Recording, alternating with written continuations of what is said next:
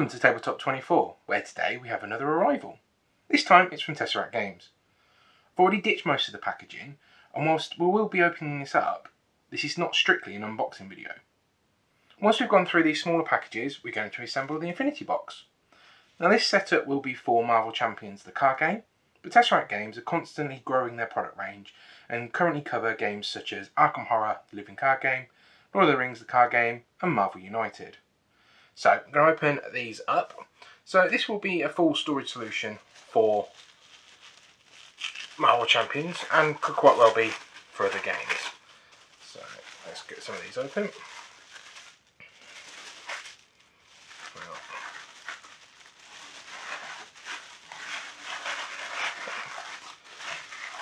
Nicely wrapped and protected.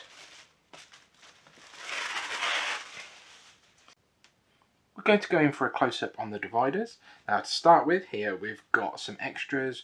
One for the team-up cards, which are the newer additions in some of the hero decks, and a deck list for all of the heroes and any custom deck lists or any campaign deck lists uh, there. Put them off to one side. And now we've got a set for each of the expansions and obviously the uh, core box. Now each of these dividers are double-sided on some of the newer sets from Tesseract. And they will come for each of the encounter sets, each of the heroes and each of the villains for Marvel Champions. Now these are quite nice double-sided, nice thickness and are a good shade. We got the Rise of the Red Skull pack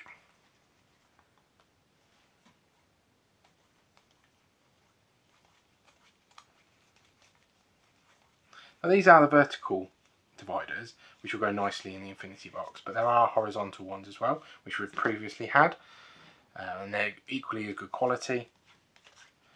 So for the core box, obviously you've got the dividers for all of your aspects and the breakdown of all of the aspects therein. Also the encounters and the core box heroes and the first wave of heroes and villains. These are really nice dividers and they will go nice in a full set in the Infinity Box. Okay, and in here we've got the campaign logbook which will include a completion table will show all your heroes against all your villains and also some custom or further options. And it includes uh, a different difficulty track uh, for each one. And obviously if you want to colour in colour um, coloured pens you can then track what aspects you're playing. And then we've got encounters. So quite nice there. So just an example of one how to complete. Uh, we've got a file guide, another example, and we've got I think 51 different samples there to run through on some of the campaigns, some of the recordings. Okay, uh, in here we will have the first part of the dividers, or the box should I say, which will be a set of token trays. Now I'll come back towards those a bit later.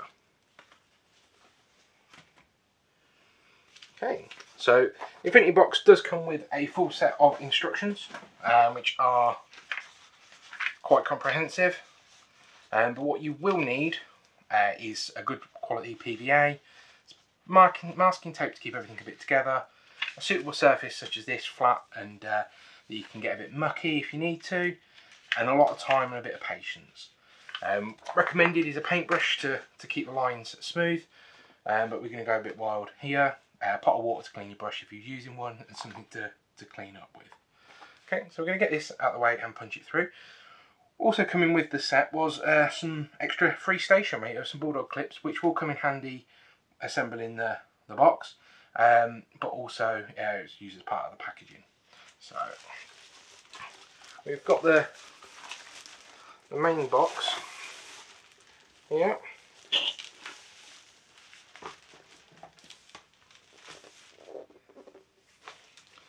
Which we will be assembling and this does stand on some footprint.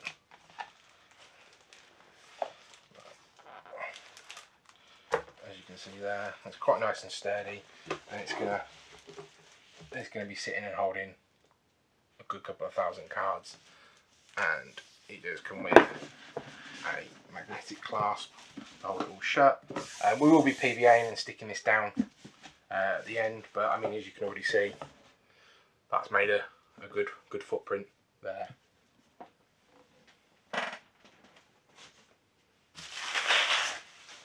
Okay, and then we've got all of the MDF sheets.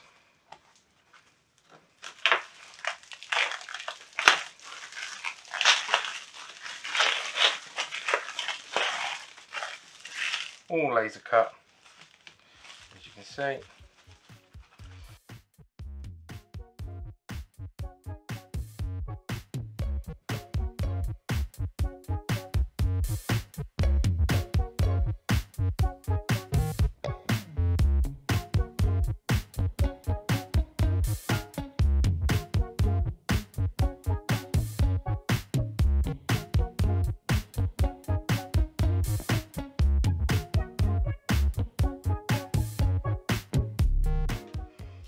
The box comes with a top lid tray, which is this sheet here.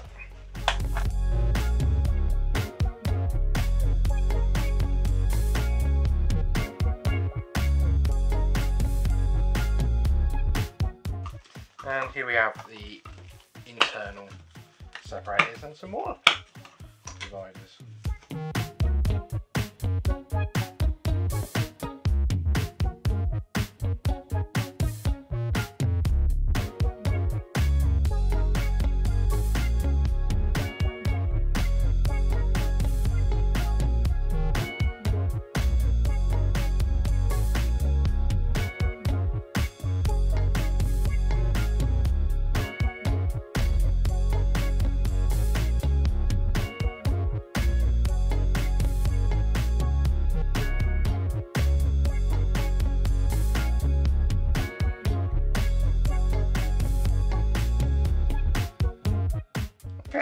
There's all the bits laid out. Join us back when we uh, get starting on the assembly. And welcome back. Now we've got the, the start of the box uh, going. Like I mentioned earlier, you need a good quality PVA. And what we're going to do is put the box sides together, top and bottom, and just a good amount of PVA down that seam.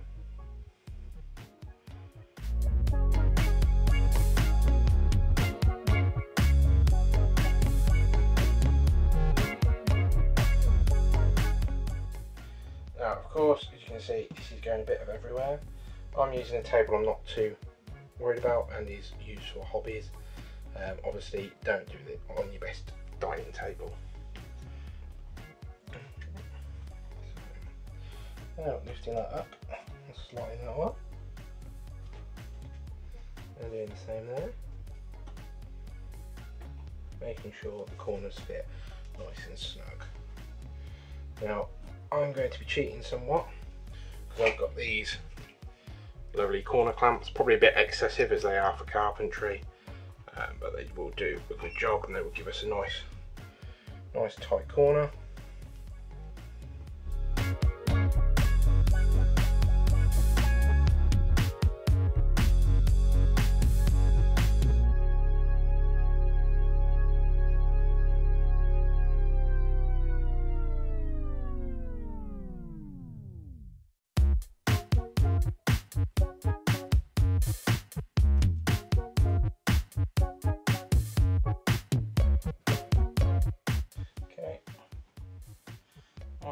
Holding itself there. We're gonna then go around and we're gonna mask up the corners and the edges just so that they're nice and tight. Clean off any excess glue on the outside corners before we do hand.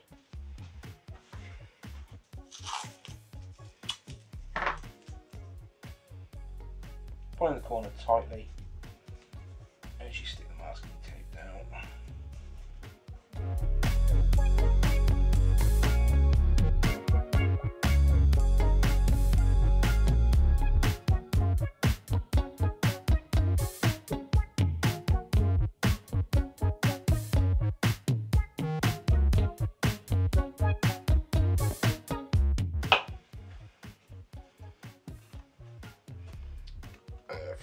over. Taking very care with the corners. See that one's just popped off there.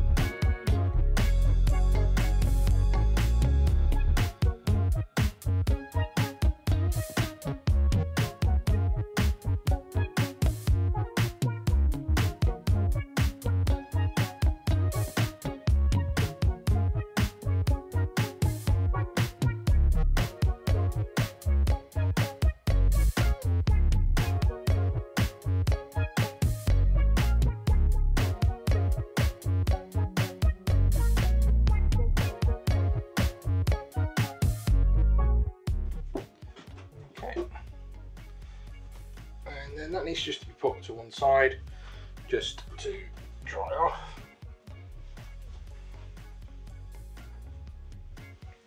And what I'll be doing is just giving it a quick wipe down.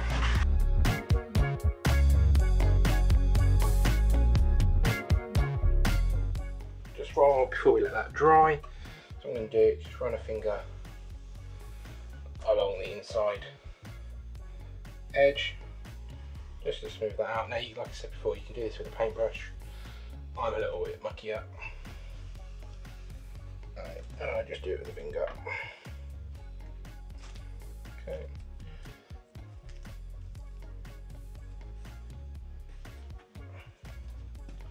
Tie that edge back in. Like I that can go to one side. Okay. Okay, now we've popped that other one to one side, give me a bit of a tidy up and now we're going to uh, assemble the tray.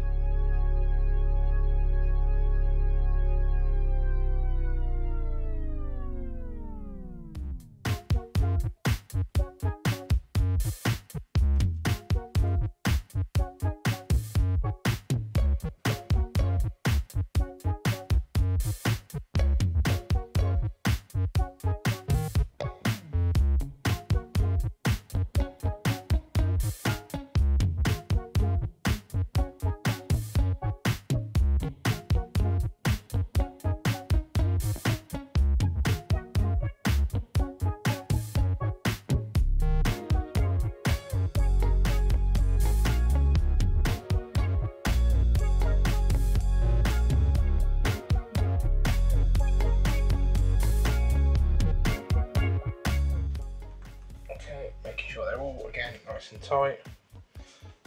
Run a finger. Uh, careful not to push the trays out.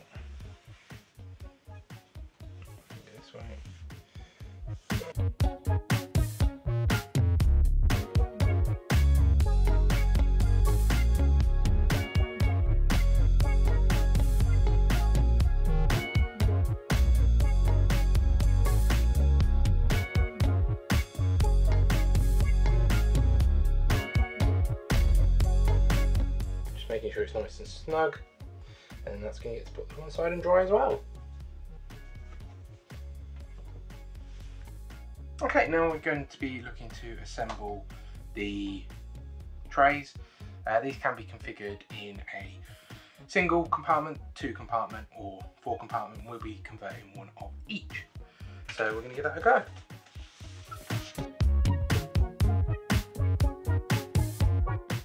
These will go together exactly the same way as main boxes.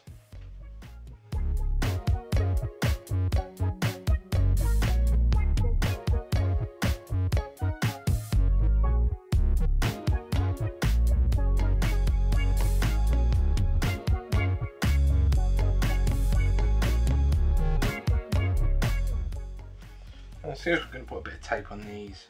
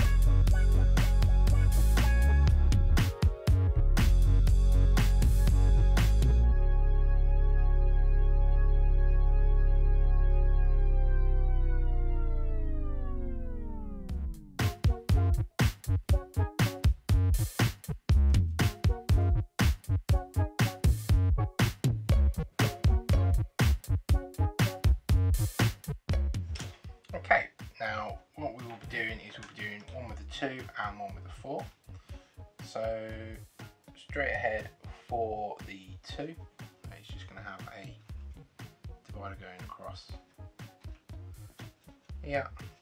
So just be quick dab.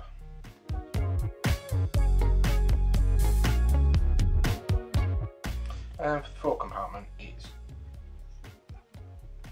same.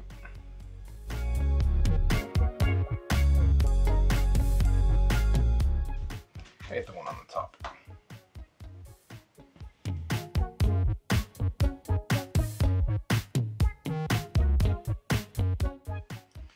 And just give that a bit of a clean off there. Put them to one side to dry off. And you've got some extras there should you wish to change your mind. Okay, now so we've given the uh, the main box a little bit of time to dry. Now we're going to just put in the, the central dividers. So for this, we need to do is double glue along the edge, a little bit there, this bit here.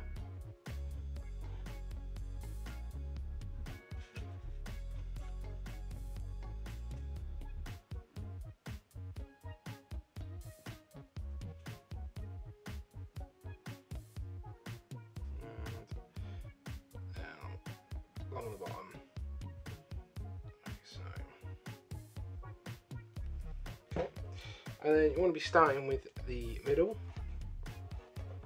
Lining that up so. It should slot in nicely there. Again, clean off any excess.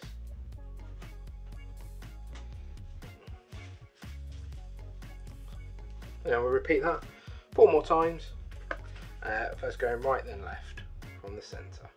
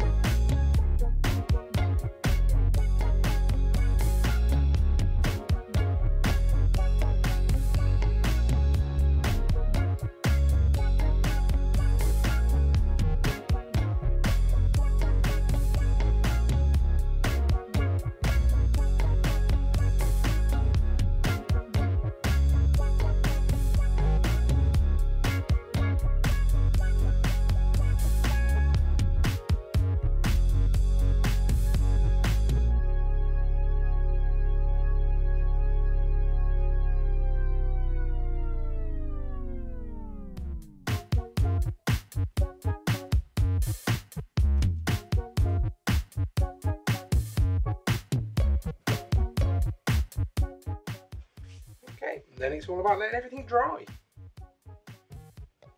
With our MDF pieces set to one side, we're now going to turn our attention to the outside magnetic flat box. First of all, make sure that you've given this a bit of a test to know how it's going to be going together. You're going to be pulling those bits up and out there.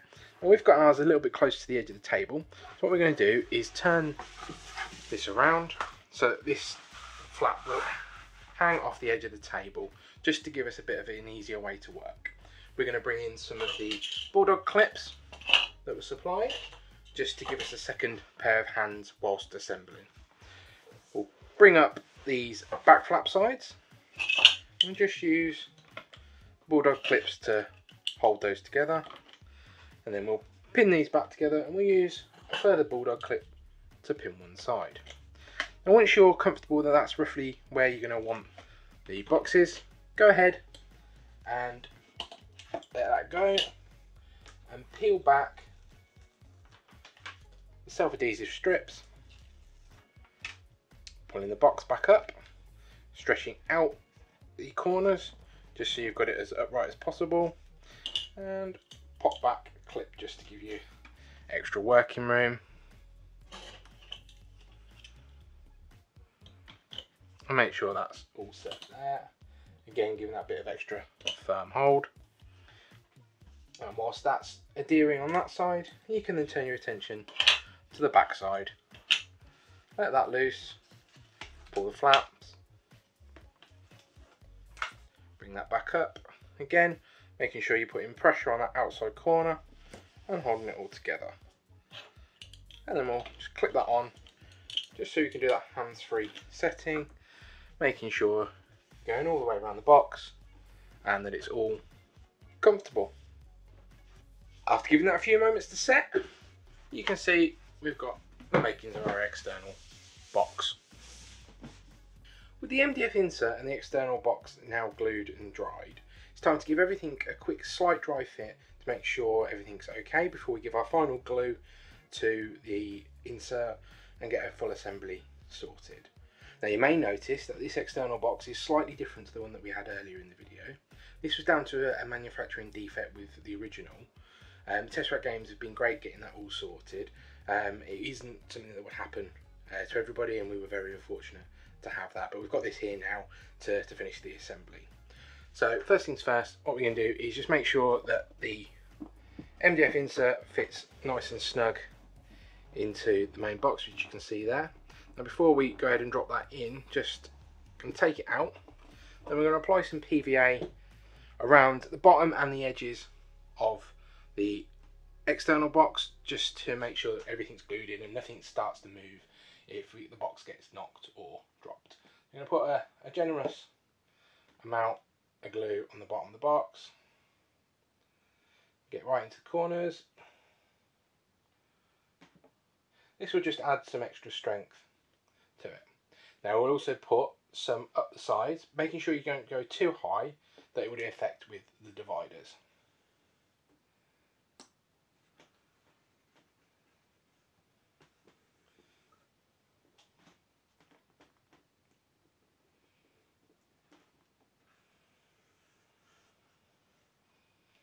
Okay, and once we're done, we're going to go ahead and finally slide this in. Making sure when you're handling the glued insert to hold it by the outmost dividers, just to give it extra security. And that should go ahead and slot in there. Now it might be really snug as it gets towards the bottom. You can put a good amount of force to make sure it's home. Okay. and whilst that's there and, and in, we will get the top tray and just make sure that all fits nice and snug. Which you can see that does there. And the box closes up nice and tidy. In order to aid with the securing of the external box to the internal insert, we use the supplied Bulldog clips to just secure the edges. Um, obviously this is mainly drying now. Um, but one thing we want to show you with the dividers, so these are the number of dividers you're going to get with the box.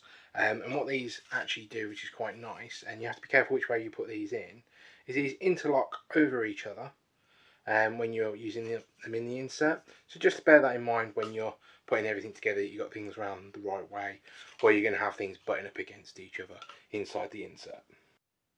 With our box off drying, uh, we'll turn our attention back to the token trays. Now, each of these token trays on the acrylic does have a peeling protective cover. I'll just take those off. As you can see, I've already put some tokens from the core box in in the dividers and these will just slide in the trays so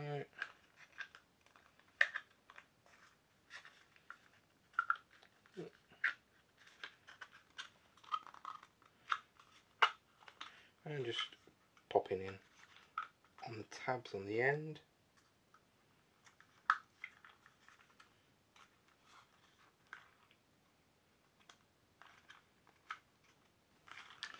Okay. I must say it is easier on ones with a divider already in them. It goes in quite nicely there. Now these boxes will go in our main box um, and some of the older versions of the Infinity box will would go in the tray um, but this is a newer version. Once everything's dried I've put everything back in the box and now let's see the finished article. So opening up the magnetic clasp, popping that back, you will see the top tray. In here I have got um, rules reference, learn to play, both campaign books, the villain uh, guides, the encounter log files, and all of the hero sheets. Taking that out.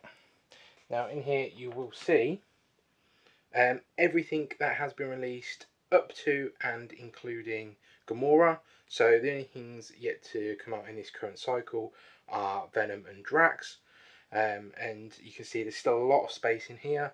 So just run through what I've done. Um, down on this first column you've got the majority of heroes, some that I'm still playing, most have had their aspects stripped out. Then I've got heroes that I'm yet to play, which are all the, the Guardians of the Galaxy.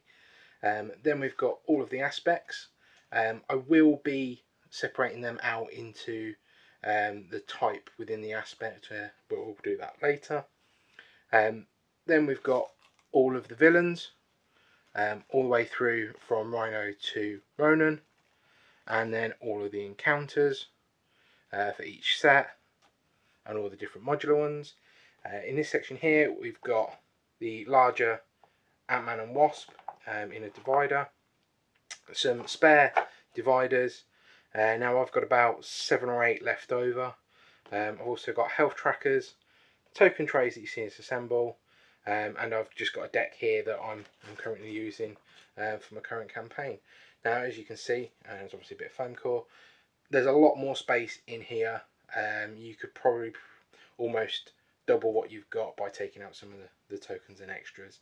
Um, so real nice spacious box, a lot of room to grow, everything in one place. Now it is a sizable weight um, and it needs to be kept horizontal um, when stored just obviously to prevent any falling out. And one thing I will say which I've done and it's completely unnecessary but I have sleeved um, each of the dividers just to give them that bit of extra protection. Like I say, not required but I've done it just to probably go a bit over the top. Okay, so thank you for joining us for this assembly of the Infinity Box alongside uh, a preview of uh, the Heroic Bundle of all the vertical dividers and the token trays and the encounter logbook um, from Tesseract Games. Thanks a lot. See you soon. Take care.